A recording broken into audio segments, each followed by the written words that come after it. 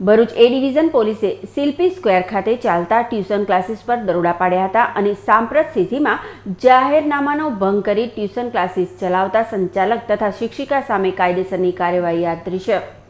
ભરૂચ શહેર એ division police મથકના સૂત્રોને બાતમી મળી હતી કે શિલ્પી સ્ક્વેર ખાતે દુકાન નંબર બસો સાતમાં ટ્યુશન ક્લાસીસ ચાલી રહ્યા છે અને તેમાં મોટી સંખ્યામાં વિદ્યાર્થીઓ એકત્રિત થઈ રહ્યા છે.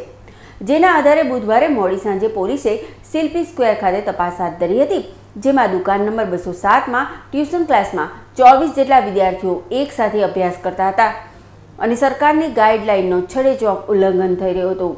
જેના આધારે પોલીસે ક્લાસીસના સંચાલક રજનીકાંત છોટાલાલ પટેલ તથા શિક્ષિકા હંસાબેન હસમુખભાઈ પટેલની અટકાયત કરી. તેઓ વિરુદ્ધ કાયદેસરની કાર્યવાહી હાથ ધરી છે. અત્રે ઉલ્લેખનીય છે કે કોરોનાની સ્થિતિને ધ્યાનમાં રાખી ટ્યુશન ક્લાસીસ, શાળા, કોલેજો બંધ રહ્યાનું જાહેરનામું છે.